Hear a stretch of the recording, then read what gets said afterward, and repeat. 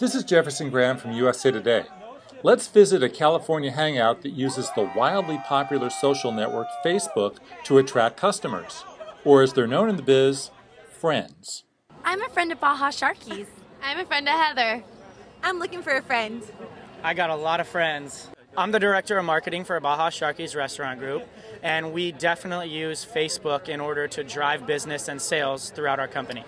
Um, we ask each bartender to send out friend requests and bulletins and invitations to each individual event that we have, and also each night of the week that they work so that they can bring and draw in customers every single night.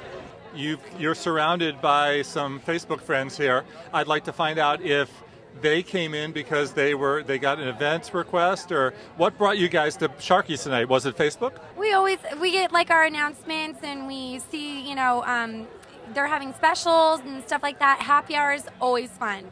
I got his update today. You get to know who's working.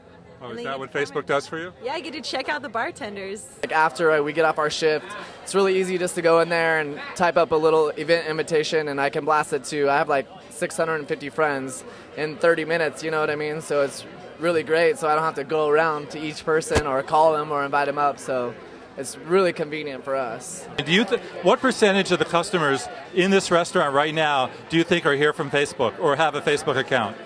Um, have a Facebook account, at least 95% to 100 for sure. Um, And how many here are, are here because they read a promotion? I'd say about 30 to 50. And who doesn't check their Facebook every day, you know? You know they're reading the bulletins, and I'm sure it gets them in here. Okay, so how many friends, fans total do you have? Um, in total on Facebook, we definitely have over 100,000 friends. There's no question about that, and um, that's huge for us. And and me being the director of marketing, it's it's massive for the amount of people that I can contact within seconds of posting a bulletin or making and creating an event.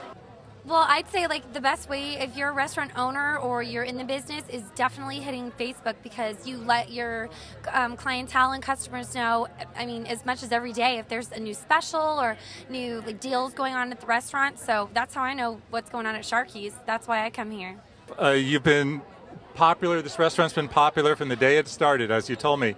But um, where would you be without Facebook? You know, we'd probably be definitely very busy, but Facebook has tremendously helped us, especially in the time when the economy's not as great. Um, we can drive sales so much more. I mean, it's probably the best thing that's happened to us in the past 10 years. Viva